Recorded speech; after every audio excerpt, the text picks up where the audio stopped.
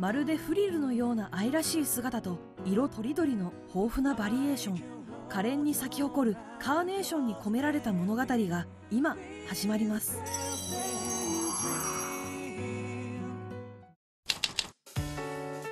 いろんな植物がしてくれる反応が私の原動力になってよりいいカーネーションを作ろうと思う気持ちになってます。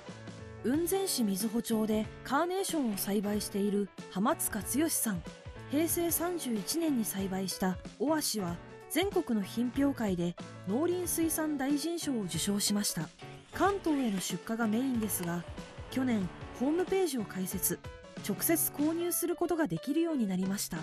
毎年32品種のうち3分の2は入れ替えます。やはり色のブームであったり羽屋さんがやっぱり使いやすい色消費者のやっぱり求められる色それを常に追い求めるためには入れ替えていろんな品種への挑戦ということをしています。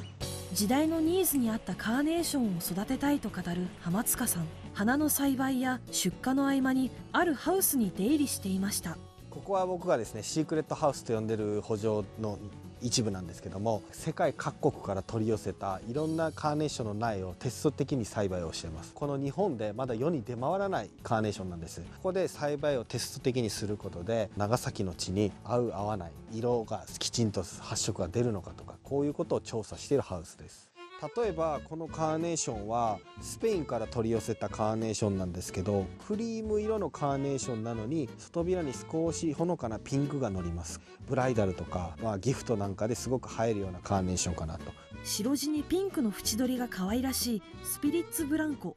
同じくイタリア産のスピリッツアランシオなどこのハウスから来年市場に旅立つ予定です。